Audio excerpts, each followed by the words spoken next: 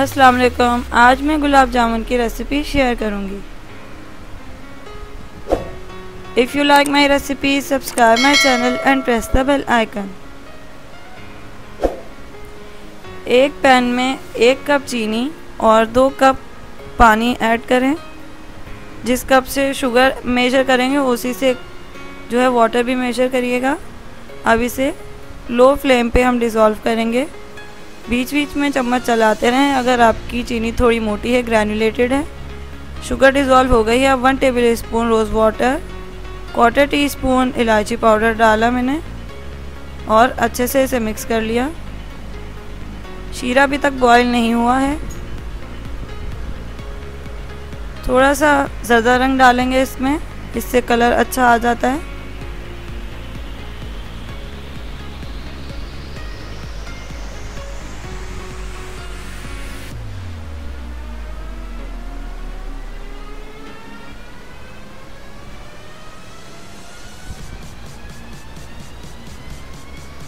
शीरा बॉयल होने लग गया है। मज़ीद दो से तीन मिनट तक पकाएँगे। फ्लेम ऑफ़ कर दें।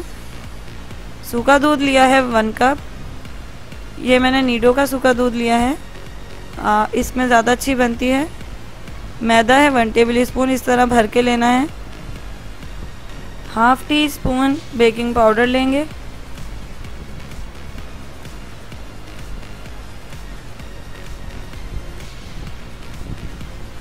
इलायची पाउडर साथ में ऐड करेंगे।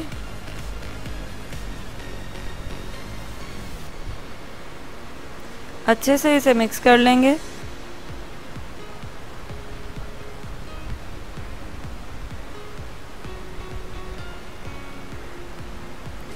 वन टेबल स्पून घी ऐड करेंगे।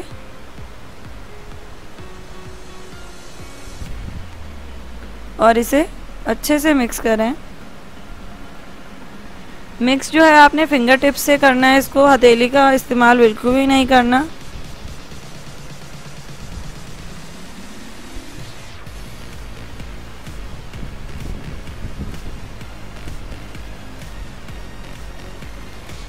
घी अच्छे से मिक्स हो गया, ये देखें आप इस तरह करेंगे, और ये क्रम्बल बनेगा इसका। अब हम इसमें अंडा शामिल कर देंगे एक अदर, जो कि रूम टेम्परेचर पे लेना है। अब इसे स्पून की मदद से हम मिक्स कर रहे हैं।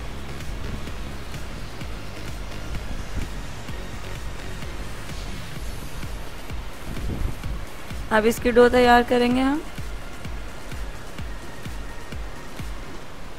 हथेली की मदद से बिल्कुल भी नहीं हमें गूंदना। फिंगर टिप्स की मदद से सिर्फ़ हमें इसको मिक्स करना है। आटा नहीं गूंदना है हमें इसका। इसका एक बॉल बना के देखेंगे। अगर उसमें कोई क्रैक आ रहा है तो इसका मतलब आपका मिक्सचर जो है वो ड्राई है। तो उसमें one two two tablespoon milk add कर दें। मिल्क जो है रूम टेम्परेचर पे होना चाहिए। अगर आपका बैटर पतला हो जाता है तो उसमें थोड़ा सा सूखा दूध और ऐड कर दें। इस तरह से आप एडजस्ट कर सकते हैं अपने मिक्सचर को। ये हमने इसका बॉल बनाया। और देखिए, कोई भी क्रैक नहीं आ रहा है इसमें। तो ये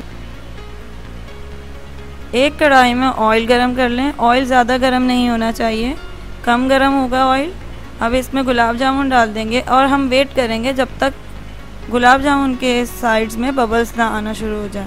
बबल्स आना शुरू हो गए इसका मतलब ये है कि हमें परफेक्ट टेम्परेचर मिल गया है जिस पे हमें अपने गुलाब जामुन ऐड करने हैं ऑयल में। अब बाकी के गुलाब जामुन भी ऐड कर देंगे। ओवर क्राउडेड नहीं करना क्योंकि हमें इसे हिलाना है। कंटिन्यूसली इस तरह से हिलाएँगे। ताकि जो है कलर अच्छे से कलर आ जाए गुलाब जामुन पे और फ्लेम जो है हमें मीडियम लो रखनी है। तेज़ आँच पे ये जल जाएँगे। सात से आठ मिनट में ये फ्राई हो जाएँगे। आपको जिस तरह का कलर चाहिए, उतना आप इसको फ्राई कर लें। ये मैंने एक बॉल में निकाल लिए हैं।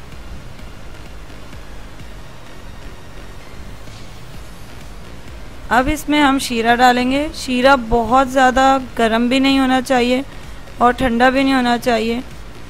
गर्म शीरा हमें डालना है इसमें। साथ ही बादाम और पिस्ते से गार्निश करें। एक दो घंटे तक इसे रेस्ट पे रखें ताकि शीरा बिल्कुल अच्छे से जज्ब हो जाए इसके अंदर।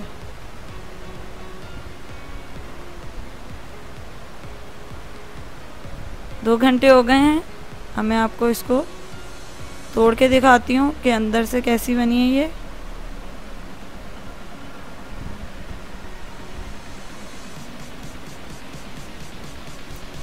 बहुत ही सॉफ्ट और अंदर से जूसी बनी है ये। Don't forget to like comment and share my video